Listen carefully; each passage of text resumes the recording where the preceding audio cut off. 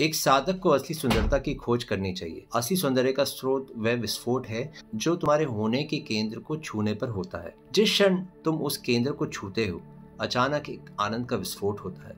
तुम्हारे अस्तित्व की हर कोशिका नृत्य करने लगती है।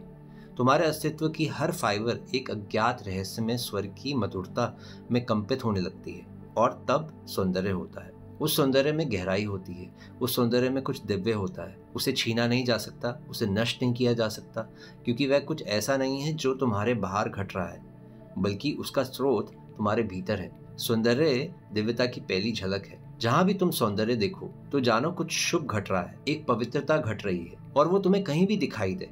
चाहे वो एक सुंदर स्त्री या पुरुष का चेहरा हो, एक बच्चे की आँख में एक कमल के फूल में या उड़ान भरते एक पक्षी के पंखों में, इंद्रधनुष में या एक निशब्द चट्टान में, जहाँ भी तुम सौंदर्य देखो। स्मरण रहे, ये शुभ घड़ी है, क्योंकि ईश्वर निकट है, क्योंकि ईश्वर का सहज सरल प्रकट रूप सौंदर्य है। उसको जीना अपने जीवन की गहराई को जीना है, अपने भीतर के ईश्वर को जीना है।